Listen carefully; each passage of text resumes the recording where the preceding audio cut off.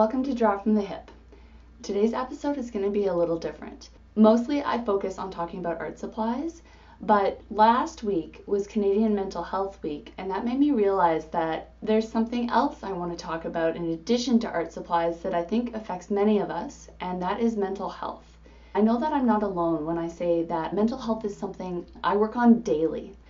I have had my own troubles with mental health since I was 17. I've had several major depressions where I've basically had to pause my life and build it back up. But through all of this, I've realized that you can actually build a skill set, kind of your own toolbox, abilities that you can practice in your daily life to help you be more robust in your mental health. And when I'm talking mental health robustness, I'm talking the ability to kind of roll with the punches a bit when you feel like life is beating you up. Just have a little bit more internal resources to draw on. So, how does this tie into art? Because, of course, it ties into art. You're at Draw from the Hip. We're all about art here. This connects back into art because I believe that there are skills you learn in art that help you with this state of mental robustness. So, if you could bring some consciousness and awareness towards the cultivation of this skill, then you can also bring this skill into your life and hopefully have a lot of wonderful side benefits Art gives us these skills in a lot of different ways, so I'm only going to focus on one today. That one is play. The sense of play is something we lose a lot as we grow older, and I believe that a lot of people come to art kind of hoping and wishing to seek it. Play requires us to let go of our expectations, to be curious in the moment, to to notice and to just engage in an immediate unplanned way in order to get to this place where it can just be about the pleasure of the experience, you need to let go of judgment, which is very hard. So, before you start this exercise I'm about to give you, remember it doesn't matter what it looks like. It's about how you feel while you're doing it. Play also is low risk. It doesn't matter if something goes wrong in your painting if you're playing. It doesn't matter if it doesn't look the way you wanted it to because play isn't about the end result, it's about the journey and experiences you have on the way. I have an exercise that I think practicing regularly can bring a lot of this consciousness to the sense of play in art and thus allow you to transfer that skill into your daily life. I've chosen watercolors for this exercise because they're very loose and fluid. It's a good medium to help you let go of control because it is hard to control. If you prefer another medium, this is totally fine. The concept is much more about making marks, making color, making shapes without judging them as good or bad.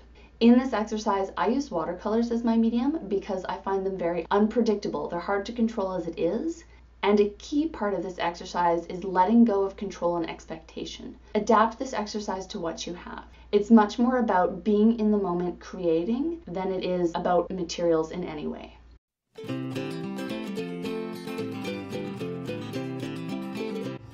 Before I even started setting up, the first thing I did, I took a spray bottle and I misted my paints so that they would be ready and the paint would lift up easily when I was ready to start painting. I then taped down a piece of inexpensive watercolor paper. Because this is play, you can't have worry. So if you're gonna worry about ruining a nice piece of paper, use something really affordable. For this exercise, I start with putting another misting layer on my watercolors and a clean brush and clean water. I'm just gonna put some some blobs of water down randomly, doesn't matter where, doesn't matter how thick they are. Just get them in there. And now I'm going to start touching my brush to colors and touching them to these blobs of water.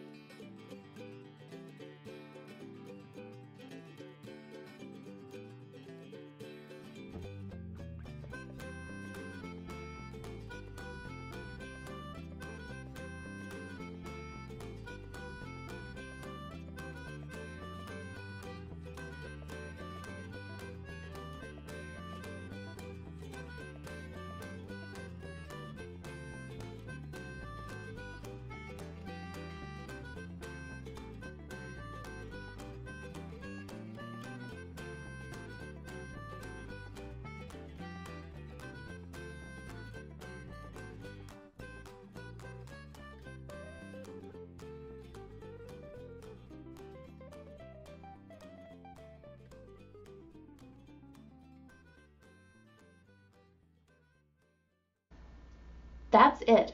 This exercise can be as long or as short as you want. It is much more about your engagement than it is about any definition of how it should be done. I hope you found this exercise really helpful in cultivating a sense of playfulness and curiosity, and that you were able to let go of your judgment to any degree and to engage with your materials from a place of discovery. Mental health is something I care a lot about, and I hope to be making more videos about it in the future. So, if this is something that affects you as well, I love to hear from you in the comments or through social media. Have a wonderful day, everybody, and remember to take the sense of play out of your studio. It can be applied to tons of areas in your daily life. See you in the next one.